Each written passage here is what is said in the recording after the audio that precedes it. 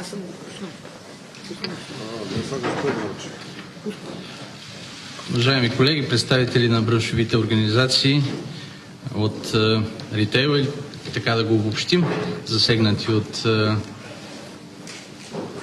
наредба N18, правим е, тази среща, за да започнем да се опитваме да разкъсваме гордиевия възел за разбирането на целите на наредбата и основните притеснения на бизнеса по отношение на нейното прилагане.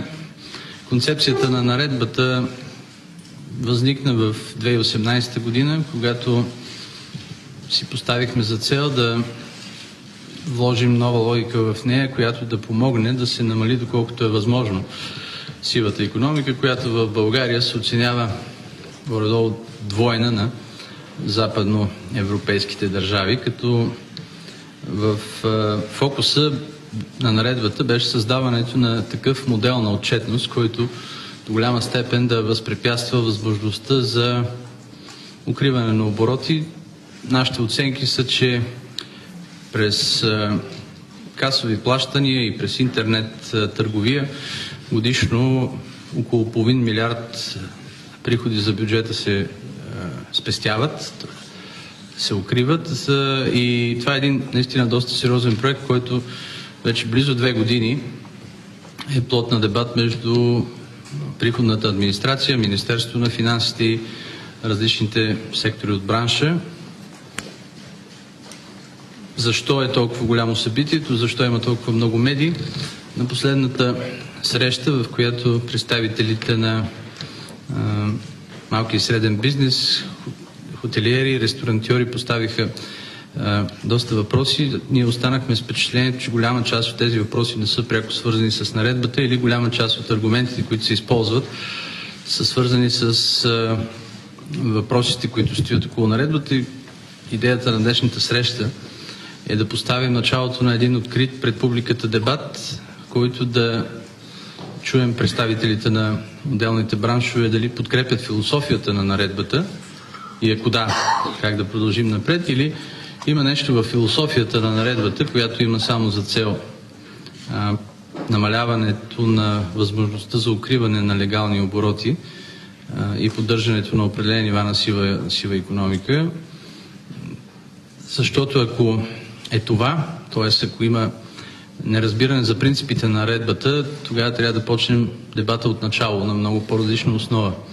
Ако има някакво неразбиране за философията на наредбата или някакви технологични въпроси, вярно е, положихме повече от година и половина усилия да чистим теми и постигнахме доста добри резултати в тази посока. Благодаря и на работодателските организации, чието членове колективни са организациите представени днес около тази маса, с, помощта на които в а, няколко работни групи успяхме да постигнем доста добри неща, свързани с електронната търговия, с отпадането на някои рудиментарни изисквания по отношение на отчетността, без които приходната администрация има достатъчно капацитет да а, се чувства сигурна, че срещу себе си има надежни партньори но ми се иска днес да очертаем рамката върху принципите и ако там не срещнем подкрепа, ще трябва да търсиме общо разбиране каква е функцията на приходната администрация и къде са проблемите в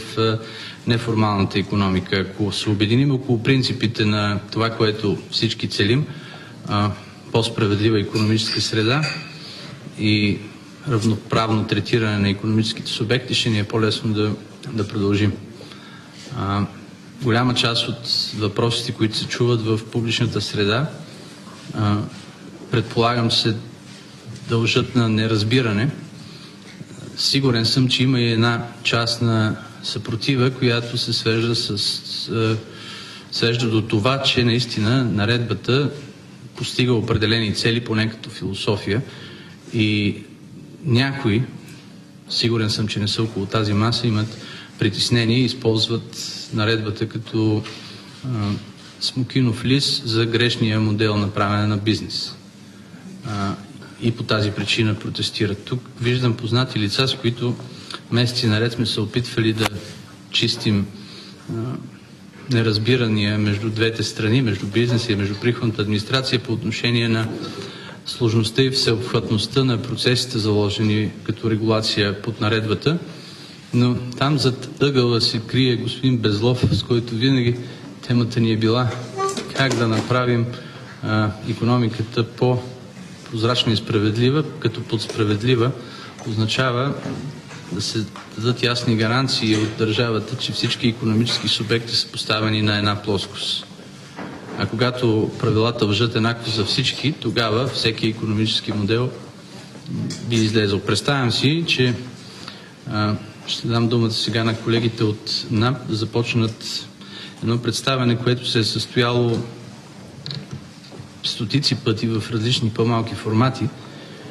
И това може да е и комуникационен дефицит, но никога не е късно да продължим този дебат с ясното разбиране, че събирането на повече приходи в бюджета и при ниска данъчна тежест не е самоцел. И че наистина ние имаме много необходимост да изведем всяка една сфера на обществено-економическите отношения справедливостта като доминант. След това си представям, че всеки един от отделните представители би заявил и би споделил кои са му основните проблеми, свързани с наредбата и ако се обединим около философията на наредбата, философията на наредбата и извлечем тези а, малки или не малки неща, които все още има да решаваме, имаме пред нас а, достатъчно време да започнем да ги решаваме, за да можем в един момент а, небезизвестната наредба, за която не трябва да има спор, се нарича N18, буквичката идва от наредба, а не от хаш, е само инструмент за по-справедливо третиране на взаимоотношенията при правенето на бизнес. Пак повтарям, да се събират повече приходи при най-низката данъчна тежест в Европа и при най-низката преразпределителна роля е единствения шанс на министра на финансите при среда, в която а, 30 години след прехода обществото възлага изключително големи надежди върху държавата и нейната преразпределителна роля, а тя се оказва и, и де-факто е третата най-ниска в Европа. Тоест, ние от една страна искаме да сме солидарни през разходите, от друга страна имаме много либерален подход към приходната част на бюджета. Искам тези две тези да ги срещнем някъде и няма да песта усилия в тази посока, независимо, че не винаги срещаме разбиране. Там, където имаме грешки, естествено, те трябва да бъдат поправени и трябва да бъдат изправени, но упреците, че ние целим по някакъв начин силово налагане на а, определени поведенчески модели, а, дори да са верни, не ни е, не ни е целта. А, затова след още едно-две кратки експозета от колегите от приходната администрация, ми се ще да си отделим достатъчно време да чуем принципните съображения на отделните представители на бизнеса, най-вече малък и среден, като ми се ще да разбера дали философията за това, че трябва да се намалява сивата економика, се възприема от всички. Естествено, пред, предрешавам отчасти отговора, но искам да го разделя на прости множители, за да е по-лесен за преглъщане, за логаритмуване. Тази 18 в наредбата. Госпожо Димитрова. Добър ден и от мен. Действително, новите правила на наредбата са насочени единствено към това всички търговци да отчитат реално своите обороти да се елиминират всякакви възможности за отклонение от облагане, тъй като това е единственият начин да се преборим с сивата економика и нелоялната конкуренция, което считам, че е безспорно в интерес за всички, които спазват закон. Какво направихме до момента? Провели сме над 300 срещи с представители от абсолютно всички браншове, за да уточним отделните въпроси, които са свързани с спецификата им, да намерим технически решения за голяма част от конкретните им въпроси. Бяха създадени три работни групи с участието на бизнеса от всички браншове, които бяха насочени в три основни направления. Софтуерна фискализация, облегчаване режима на картовите плащания и модернизиране на фискалните устройства чрез разширяване на тяхната функционалност. В резултат на активния и действително ползотворен диалог с бизнеса, бяха създадени альтернативни възможности за електронната търговия, за големите предприятия, които използват ERP системи и за лекари, медицински заведения и фармацевти, за които бе дадена възможност да се използват така наречените облегчени софтуери за управление на продажбите. Електронните търговци вече имат възможност да отчитат продажбите с дебитни и кредитни карти без фискални устройства при запазване на интересите на фиска. Създадена е възможност за големите предприятия с продажби в брой под 5% от оборота да се отчитат пред Националната агенция за приходите чрез аудиторски файл. Предвидена е и възможност за облегчен режим на софтуерите, които работят основно с здравната каса. Бяха взети много други конкретни решения по време на срещите с бизнеса, които намериха своето отражение в последната промяна на наредбата. Към момента фискалния, а, в регистъра на Националната агенция за приходите са регистрирани около 900 софтуера за управление на продажбите, които са минали процедурата за преглед. Има и други 130, които са в процес на вписване, а от тях 80 бяха представени последните седмици. Ние считаме, че нашата идея за ограничаване на сивата економика среща разбиране в огромната част от търговците и независимо от всички досегашни публични дискусии, десетки хиляди търговци вече работят в пълно съответствие с изискванията на наредбата. Тук се включват търговци на едро и на дребно, хотелиери, ресторантьори, промишлени предприятия, онлайн магазини, оператори в туристическия сектор. И затова действително сега разчитаме на вас да поставите въпросите, които считате, че предстоят да бъдат допълнително обсъдени, за да има пълна яснота и отчитане на спецификите на всички отделни браншове. Господин Димитров, вие като а, заместник директор на приходната администрация, ресорен с темата, искате ли нещо да добавите или да дадем думата на колегите от бизнеса да чуем тяхното становище? Господин министр, предлагам да дадем думата на бизнеса, за да чуем нещо полезно и конструктивно от тяхна страна. Аз предлагам да модерирам този разговор, който предпочетох да е публичен, за да няма неяснота по отношение на позицията на отделните организации и имаме достатъчно време. Разбира се, многочасови презентации няма да са от полза на диалога и това е една от първите срещи. Аз съм готов да вложа ресурс, ако трябва ежеседмично да провеждаме такива и то в този формат. Нека да започнем от ляво на мен с колегите, които последно имахме среща в Министерство на финансите във връзка с заявената от тях готовност да демонстрират съпротива срещу част от наредбата или срещу неща в наредбата. Ако искате от тук да започнем.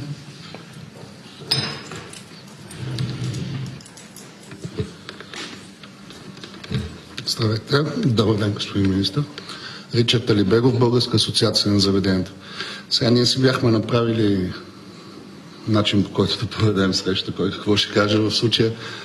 На мен се пада на нашата среща на 28-ми, освен наредба 18, имахме и проблема за малки и средния бизнес за печатване на търговски обекти.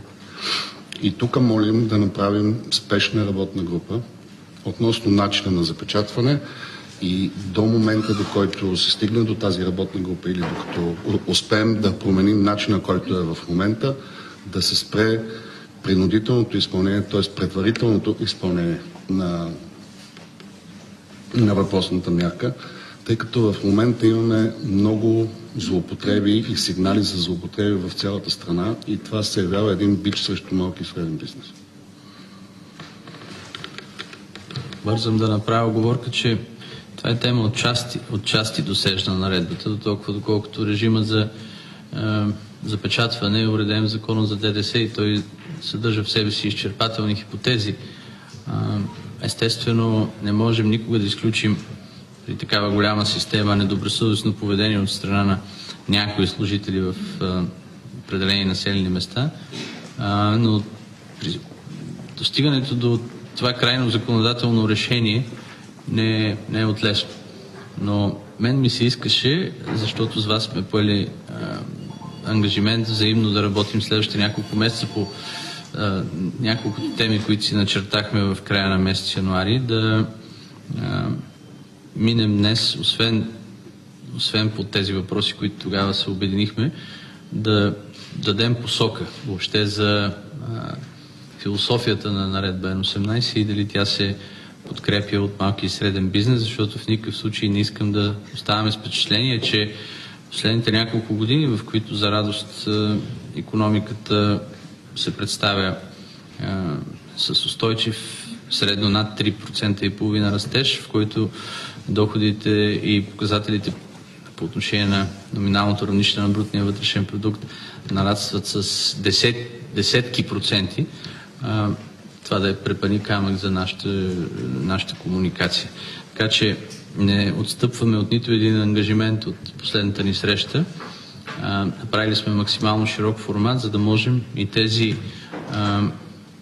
заинтересовани организации, които не бяха унази вечер с нас, да могат да се включат и като крайен резултат да имаме един общ консенсус, а не действията на приходната администрация да се възприемат като враждебни или като натиск върху малки и среден бизнес, имайки предвид все пак високото ниво на усещане за сива економика в ритейла, така да го наречем най- най-широко и най-безадресно. Та по отношение на принципите на наредба N18, какво е вашето виждане? По отношение на принципите на наредба N18 няма абсолютно никакъв спор, че подкрепяме и наредбата, подкрепяме смисъла на наредбата, изсветляване на бранша в нашия бранш в случая, спиране на нелоялната конкуренция. Тук сме абсолютно за. Друг е въпросът, нали, че имаме текстове, които сме притеснени, така да се каже. И тук съм приготвил доста въпроси, но част от това, за което ме помолиха в малки и средния бизнес да, да, го споделя на първо място е именно въпросното запечатване. Извинявам се, че пак се връщам на тази тема. Наясно сме, че не е в наредба 18, но сега се запечатва за едни неща, след това ще се запечатва и за наредба 18 и затова искахме да, да се направи въпросната работна група за промяна. За, за за добрия ред да спомена, че в закона за ДДС са изрично изброени хипотезите за запечатване и трябва с ръка на сърце да си кажем, че никой не е бил запечатан. Просто е така. Вероятно, всеки, който е запечатан е просто заради неиздаване на касови бележки, по която иде от версията на редба N18. А, но това е дебат, който ще продължи на техническо ниво. И в момента искам да обърна внимание, че наредба N18 действа. Тя има доста изисквани в момента. Ако някой се е почувствал а, под репресията на приходната администрация без да е виновен, това е въпрос на преценка и на, първо, и на българския съд. Но понеже има много, много представители около масата, ако искате да очертаем основните теми, от вас разбрах, че нямате против наредбата, имате теми технически свързани с наредбата, искате да коментираме поведението на фискален контрол по отношение на прилагането на мерките в закона за ДДС, свързани с възможността за запечатване на обектите, които, пак повтарям, за да го а, разбират а, хората, които не са на дневна база изкушени от наредбата, не са предмет на нейна регулация. Запечатването на търговските обекти е свързано с закона за ДДС и изчерпателно изброени в него хипотези на нарушения, ще го наричам, на стопански субекти. А, и тук притесненията на бизнеса са дали трябва да се прави преценка за маловажност и дали конкуренцията не може да нелоялната конкуренция не може да използва приходната администрация като една бухалка срещу малки и среден бизнес в определени населени места. Тънък дебат, тънък нюанс, върху който ще продължим да работим. Но всеки напоследък коментираше наредбата а, и тя всъщност стана мотива за напрежение между приходната администрация, Министерство на финансите и малки и среден бизнес. Затова ми се иска да фокусираме и върху нея и да продължим с други представители около масата, за да се опитаме да изчистим темите, с които заедно в следващите няколко месеца да поработим. Защото има и доста неразбиране от страна на а, част от представителите на бизнеса. Има и колеги, които са от много месеци около нас по тази тема но има и колеги, които се включиха по-късно в темата и се смесват едни тех, високотехнологични теми и зад а, абревиатурата N18 се, се крият всички проблеми на регулацията на малки и среден бизнес, а, които не би трябвало да бъдат смесвани. Така че да дадем възможност и на други представители на бизнеса да заявят тяхната позиция по принцип за наредбата и в частност за начина по който НАП осъществява контролните си функции.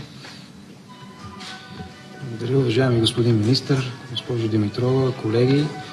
Станислав Попдончев, Българска стопанска камера. Действително, повече от година и половина работим по последните изменения в наредба N18, както всички наричаме промените от септември месец 2018 година, с които се въведоха нови изисквания за софтуерите за управление на продажби, както и изисквания към електронните магазини и доста други, но тези двете са, може би, по, по-сериозни. Разбира се, аз не вярвам, че няколко от тази маса е против философията на наредбата. Всички целим намаляването на сивата економика, на нелоялната конкуренция, така че поне по това никога не сме имали спори, ние винаги сме подкрепили а, тези мерки. Приветстваме и отлагането на сроковете, тъй като се надяваме това да ни даде наистина този път време, в което да направим наредбата на първо място по-ясна и по-разбираема. Аз бих казал, че освен за електронните магазини е голямо затруднение за голяма част от другите бизнеси да прочетат точно техния бизнес модел, как би следвало да отговори на изискванията на наредбата. В частност, може би трябва този път да се постараем да дадем дефиниция какво е софтуер за управление на продажби, въпреки че наистина е трудно, но все пак трябва да има някакви граници. Кое е това, което е софтуер за управление на продажби, къде започва и къде свършва и къде започва процеса, автоматизирания процес на обработка на данни, свързани с продажбите, където в голяма степен е разковничето. Също така бих искал да постави някои чисто организационни мерки. Имахме случаи през миналата седмица, включително в който а, имаше технически проблем с сървърите на Национална агенция за приходите. Знаете, че според новите изисквания на наредбата, периода в който фискалните устройства следва да блокират е 24 часа, ако нямат връзка с сървърите на НАП. Получихме сигнали от доста бизнеси, в това число и по-големи. Има значение дали проблема се отстранява на първия час от този 24 час или 3 часа преди да изтече крайния срок. Това е свързано с сериозна организация, включително и по затваряне на търговски обекти, защото не всички могат да работят с касова бележка от Кочан. А, така че се надявам, ако успеем да, да направим работни групи, свързани както с прецизиране текстовете на наредбата чисто юридически, така и по техническите текстове, които са свързани в приложение на 29 и така да ги наречем IT текстовете, да можем заедно или отделно в тези работни групи да се изчистят подобни въпроси. Поставя се естествено въпроса за киберсигурността на данните, които се предоставят от бизнеса към НАП с посредничеството на мобилните оператори. Вярвам, че ще ги засегнем в, в отделна работа, в работните групи. Това е за сега. Благодаря. Аз бих искал, ако ми позволите, и господин Михаил Петров да разкаже малко повече. Разбира се, веднага ще му дадем думата. Идеята на днес среща е тази да се чуват повече позиции, но аз бих ви попитал, понеже с вас сме се виждали 5-6 пъти поне в Министерство на финансите по тази тема, къде според вас упорства приходната администрация и къде е разковничето, за да продължим постоянно едни и същи итерации да водим? Ами аз не мисля, че е въпрос на, на упорство, по-скоро е в съобхватност на бизнес моделите. Сега всички си даваме сметка, че промените в наредба Н18 бяха внезапни, драстични и всеобхватни. И това всъщност попречи... Да, но тая внезапност е от година и половина. Да, да, така. Нищо внезапно така е, не ви се е случило още. Че, въпреки, че година и половина работим по това, уверявам ви, все още има фирми, които не знаят по какъв начин ги касае наредба 18. А всъщност аз бих казал, че няма такова предприятие, което да не го касае наредба 18. Независимо от това дали приема или не приема продажби в брой, най-малкото трябва да прочете, за да разбере при какви условия наредбата не ги касае. Факт е, че въпреки големите усилия, които положи и приходната администрация и ние като бизнес организация да информирам обществеността, все още не е достатъчно ясно и не е достатъчно информирано. Поведението на, на търговските е, субекти има огромни множество страници с указания, тълкования, схеми, които са качени на страницата на приходната администрация. Част от бизнесите успяват да видят своя бизнес модел в, в тях, друга част не успяват. Има хибридни модели, които остава неяснота. Тоест, не можем да изчетем наредбата и да кажем да, ако моят бизнес е хотелиерски или ресторантьорски, аз при всички положения трябва да спазвам тези изисквания. Така че не мисля, че проблема е в упорството, по-скоро в трудността да кажем къде започва суптото и къде започва процеса на продажба и къде приключва. Защото, разбира се, тук има колеги от счетоводния бранш, коментирали сме го и преди, най-обикновена програма за фактуриране, поддържаща база данни с клиенти, единични цени и количества на предоставените стоки и услуги е софтуер за управление на продажби. И той би следвало да управлява фискално устройство. Това са доста трудни моменти. А пък в някои случаи той няма да е софтуер. Тоест един и същи софтуер, в зависимост от ситуацията, може да бъде и едното и другото, включително и такъв, който не е пряко предназначен за управление на продажби по своята същност. Смятате ли, че има решение на тези казуси? Не знам дали тук ще успеем да го намерим, но вероятно не. е възможно. Днес не, дали сме вероятно, си време. Вероятно трябва да включително и с приемането на някакъв риск от страна на приходната администрация да се облегчат по някакъв начин изискванията към тези софтуери, които не са пряко свързани с управление на продажби. Тоест не са закупени от производител на софтуер или търговец на софтуер, за да управляват продажбите в търговския му обект. Ами това е да речем екселска таблица, която поддържа такива данни. Добре, да продължим с позициите на Добър ден и от мен, уважаеми господин министр, уважаеми представители на НАП, скъпи колеги, дами и господа. Казвам се Михил Петров, финансово-административен директор съм на Kaufland България и днес съм в качеството си на представител на Асоциацията за модерна търговия, която обхваща по-големите вериги ритейлери в България. На първо място бих искал да, да кажа, че ние в голяма степен подкрепяме амбициите на правителството за изсветляване на бизнеса и поставянето на всички играчи на него на една обща плоскост, която е равнопоставеност. Ще говоря по-скоро от, а, като голям бизнес, защото повече от нашите членове не са малки и средни предприятия, са класифицирани като, като а, голями предприятия. И а, бих искал да обърна внимание на нещо, което на нас ни е много важно, защото миналата, миналия вторник за нас се създаде ситуация, която е доста критична или в съвсем направо казано оставаха ни 2 часа или 2 часа и половина, докато магазините почнат да затварят една след друга. А, направихме анализ и проблемите ги систематизирахме в а, три аспекта.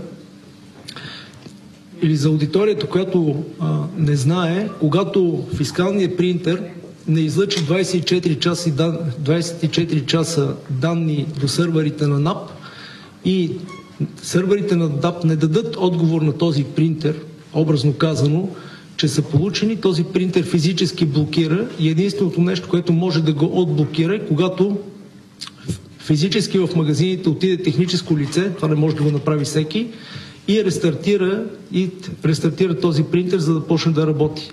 Представете си за една верига, която има 800 касови апарата в 40 града, какво означава да трябва да рестартираш тези устройства, за да ги приведеш отново в, в работа. Или това, това може да трае дни. По отношение на проблемите, които имахме във вторник, то е в 6.30, господин Димитров знае, ние най-малко бели косми получихме в комуникация помежду си. Отпаднаха серверите в 18.30 часа в понеделник и бяха възстановени за работа в някъде след 15 часа на следващия ден. Серверите на НАП. А, проблемите, които ние имаме е първо в този 24-часов срок. След изтичане на тези 24 часа, де-факто няма как да се оперира повече. Нашето предложение е да има решение, дали е с заповед на министъра или с а, заповед на, на друго висше стоящо лице за преминаване в авариен режим. Защото това е само едно от рисковете, които има свързаността. Предлагаме също така по отношение на методологията да има roadmap, в който всички, да, всички, всички промени, да, а, всички промени, които а, се правят, да имат по-голяма предвидимо, предвидимо да, да бъдат предвидени и да можем да си планираме ресурсите по-добре. А утре, след една година по това време има избори, не мога да ти обещая нищо. Аз не искам да ми обещавате. При демокрацията предвидимостта е част от демокрацията. А, чисто организационно, този 24, бихме искали да има в НАП 24-7 поддръжка, защото съвсем организационно, когато принтерите отпаднаха в 18 часа и 30, работата по възстановяването им започна някъде на другия ден. Това означава, че ние загубихме някъде около 12 часа в отстраняването на този технически проблем. А, няма, също така би било хубаво, или това е най-добри практики, когато има ескалационна матрица и бизнесът знае какво се случва. Ако, най-просто казано, ако ние знаем, че ще затваряме, няма да пускаме клиенти в магазините си, които да остават пълните си колички пред касите, които ние не можем да обработиме повече, а просто няма да ги пускаме в магазина. Но за това трябва да имаме информация. И това, което най-много ни притеснява е техническите аспекти, защото официалното становище на НАП беше, че има хардуерен проблем. В добрите практики това не би трябвало да се случва, защото всяко едно устройство, вие знаете, един сървър, един свич, един фаервол, той винаги е гарантиран с още едно устройство отзад. То в 99% от случаите никога не, никога не се включва, но просто, то просто е там, за да гарантира непрекъсваемост на системата. След като съобщенията, които отиваха в този сървър, даваха, че системата е претоварена. И а, да, системата е претоварена, опитайте пак. Това, а, това е също притеснително, що се отнася до капацитета на тази система. Нека да отбележим, че в момента все още има един, една голяма част от бизнеса, която не е вързана в системата и която все още не изпраща данни към тази система. И не на последно място, което нас ни притеснява е свързан, свързаните, как се свързват принтерите с, с сървърите на НАП. А към този момент това е само и единствено чрез трите мобилни оператора, които съвсем принципно имат по закон право 72 часа, докато възстановят връзката. В много други държави, в които има подобни а, решения, би могло да се използва абсолютно цялата а, инфраструктура, която се предлага. Независимо дали е дейта, дали, е, дали са сателитни връзки, и от тук нататък всеки един е отговорен как ще предаде данните и тези данни да бъдат защитени, да бъдат криптирани и да се вземат всички предпазни мерки за тяхната защита. Това от мен. Благодаря ви. Разбирам от вас, че нямате нищо против принципите на наредбата. Взимате частен технически повод да изкажете притеснение, че има нужда от а, предвиждане на доста хипотези, при които има а, някакви технически предизвикателства. Искам да ви уверя, че след а, неудачите от средата на миналата година тече проект а, доста сериозен за десетки милиони за пълна подмяна на инфраструктурата, която, върху която работят системите на, на приходната администрация и теми, от, теми като тази, те не, че не трябва да, да стоят на дневен ред, но щеше ми се да разбера дали принципите и философията, вие казахте в други държави, при които има подобни системи. Това означава, че вашата верига е готова и адаптирана да работи в такава среда.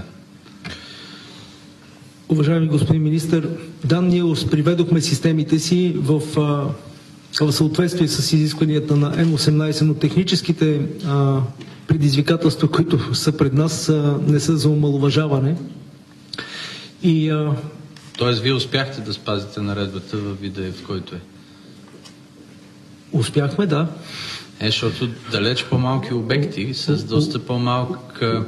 Успяхме, че с, с, с да си кажа съвсем честно, от години и половина с огромен ресурс, който хвърлихме в, в изпълнение на, на наредба Н18. Но аз пак визирам, че той дявола е в детайла. Ние може да изпълним всичко, но цялата система трябва да е стабилна. За да може тези, а, тази ситуация от миналия вторник да не се повтаря повече да не търсим причини в поводите. А, други колеги? Ако може. Ами, три заявки едновременно ще дадем път на дамата. След това ще продължим по същата последователност. А има и на втория ред. Благодаря ви, уважаеми господин министр, госпожо Димитрова, господин Димитров, дами и господа от ръководството на НАП, уважаеми колеги.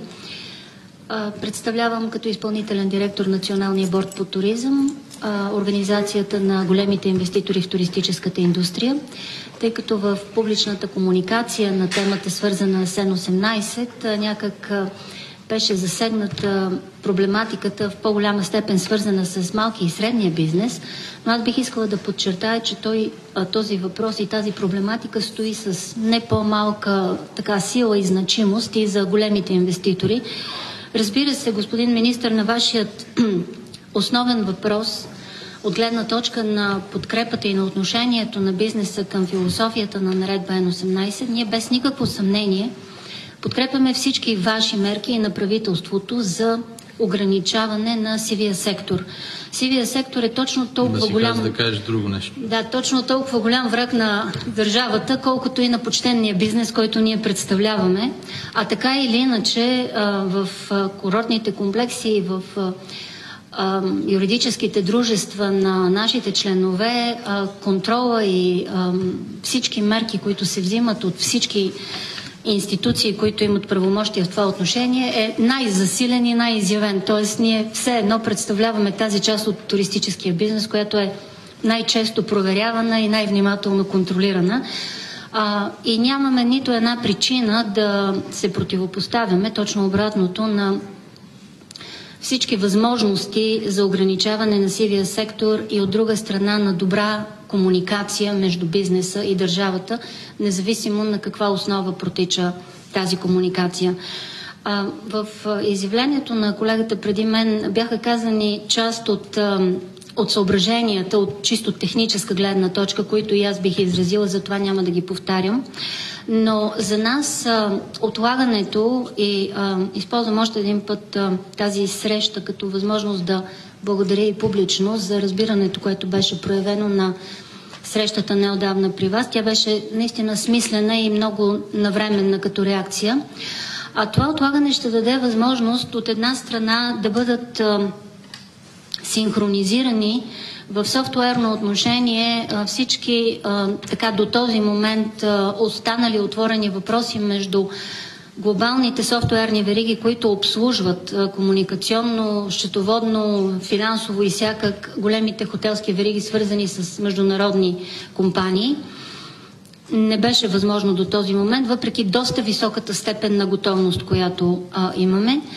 А, това, разбира се, само по себе си води и един допълнителен ангажимент, който е инвестиционен в част от обектите, които ние представляваме, промените, които следва да бъдат направени във връзка с а, изискванията на N18, се и, така равняват на инвестиции от десетки и даже и над 100 хиляди лева, евро инвестиции в софтуер. Това тогава, когато не е планиран ангажимент или не е планиран в рамките на петте години нормален средносрочен бизнес план, е нещо, което а, също трябва да намери своето решение в, в движение. А, има специфика, свързана с туроператорската и хотелската дейност а, по въпроса на процеса на продажбите. И тогава, когато се прави една резервация, от едната страна а, се счита за услуга, която е предоставена, но от другата страна това не е консумирана услуга все още и няма гаранции, че тя ще бъде консумирана. Има специфика и по отношение на хотелската и ресторантьорска част.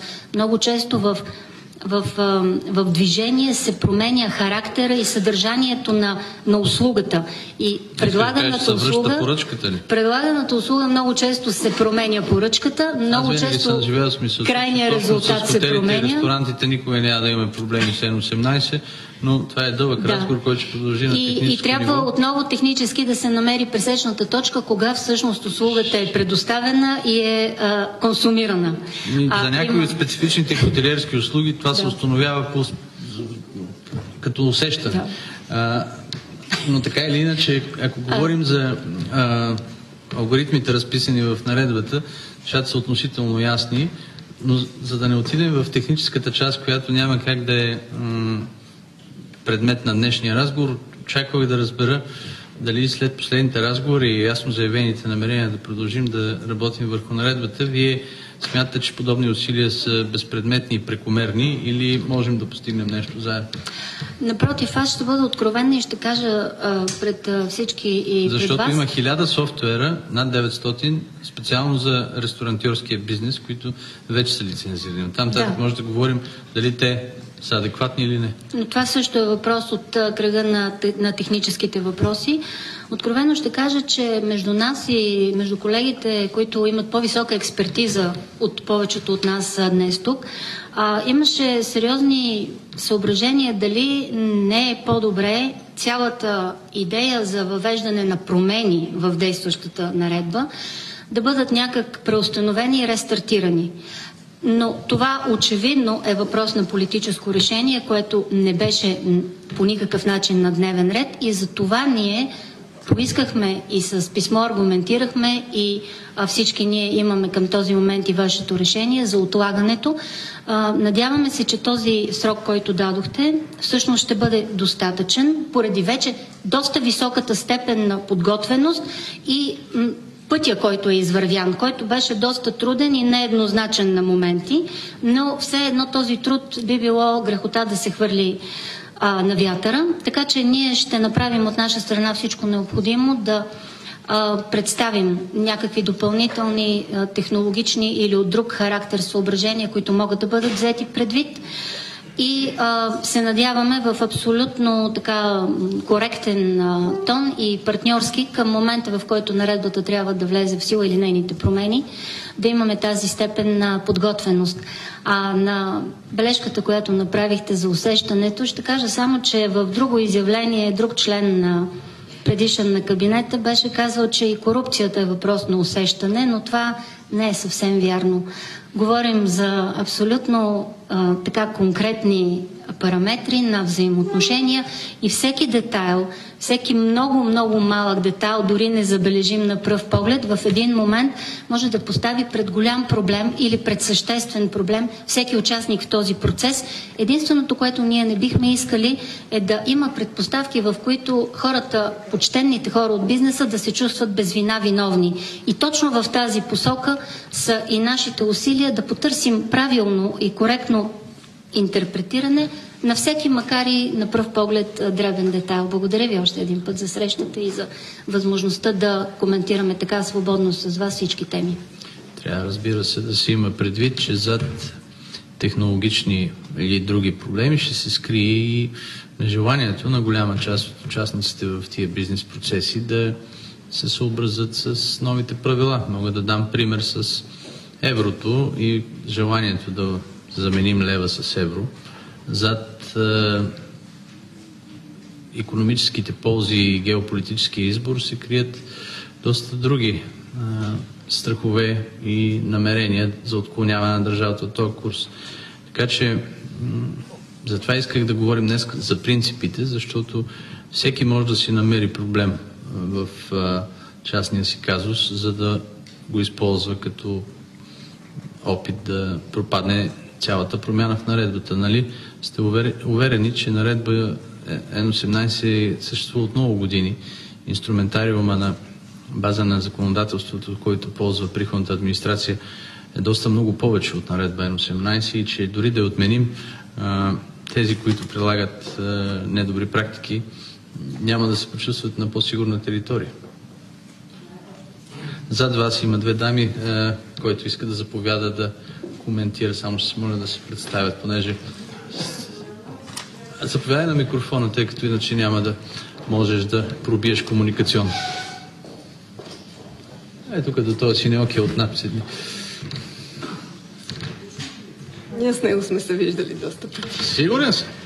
Димитрина Горанова, Асоциация на българските туроператори и туристически агенти. Благодаря ви, че ми дадохте думата веднага след колегата от Националния борт по туризъм, защото някъде споделям това, което тя каза. А, специфи... Спецификата на нашия бизнес е, че ние предлагаме услуги, а не стоки. И услуги доста разсрочени във времето. Например, министър Горанов, вие кога смятате, че ви е продадена почивката, която ще ползвате след 6 месеца? Аз Към кой дълги момент? планове въобще не си правя. Може би жена ви прави. Ми не, и тя, за съжаление, не може. Една от основните трудности... Но разбирам какво казва. Да. При нас е много трудно да се определи кой е момента на продажбата. Започваме от базовите моменти в наредбата. Стигаме до там, че а, повечето от системите, които ние използваме за продажби, са написани по съвсем друг принцип. Бизнес модела ни е различен и ние трябва да ги пренастроим абсолютно за нуждите на N18. Това, което каза колегата от Кауфланд, че са инвестирали доста сериозни средства а, и доста време, а, бих ви уверила, че въпреки, че ние сме представители на микробизнес, нашите инвестиции ще са доста близки до тези на Кауфланд което съм сигурна, че финансово, като финансов министр, ще се съгласите, че не е оправдано. Също така, разбира се, ние подкрепяме... Мисля, че голяма част от казусите, които вие поставяте, са решени, но не искам да ви прекъсвам. Искам да разбера дали въобще казвате, че нищо не трябва да се променя или нещо може да се промени, така че Едно от притесненията ни е да... сектор, който е под подозрение, че съдържа до голяма степен елементи на неформална економика може да бъде урегулиран или отговора е въобще не се занимаете с нас? Аз в момента говоря от името на туроператорите, а не от хотелиерите. Нашия Те малко бизнес... са свързани неща. Не съвсем. До някъде да, но не съвсем. А, така, наистина сме провеждали много срещи и разговори с НАП, за което благодарим и оценяваме. Проблема е, че юридическия статут на отговорите и на инструкциите, които има публикувани на сайта на НАП, не е същия. Тежестта не е същата. Това ще го каже по-добре от мен един юрист. Не е същата като текста написан в наредбата, който може да се тълкува нееднозначно, за съжаление. А, от гледна точка на коментара ви за сивата економика, разбира се, че ние подкрепяме а, идеята за изсветляване на бизнеса, но искам да обърна още веднъж, че в нашия бранш проблема с сивата економика не идва до толкова за деклариране на приходи и дейност, а въобще на дейност всъщност. Не веднъж сме обръщали внимание на Министерство на туризма и на КЗП, че има субекти на пазара и вие всички ги виждате във Фейсбук, които предлагат почивки, но всъщност дори нямат лиценз, пък камо ли да декларират приходи.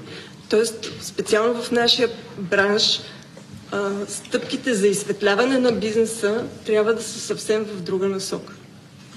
Тоест, вие смятате, че измененията в наредба N18 са и релевантни към вашите бизнес процеси? Напротив, ние смятаме, че и искаме и декларираме, че искаме да продължим активно следващите три месеца да работим а, с НАП за изчистване на текстовете на наредбата, така че да е наистина приложима към нашия бизнес, но ви обръщам внимание, че това няма да е достатъчно в туризма сивия сектор да изчезне. Няма никакви съмнения и аз благодаря, че мислим еднакво в тази посока. Нека да направим някаква стъпка, доколкото е възможно. Благодаря.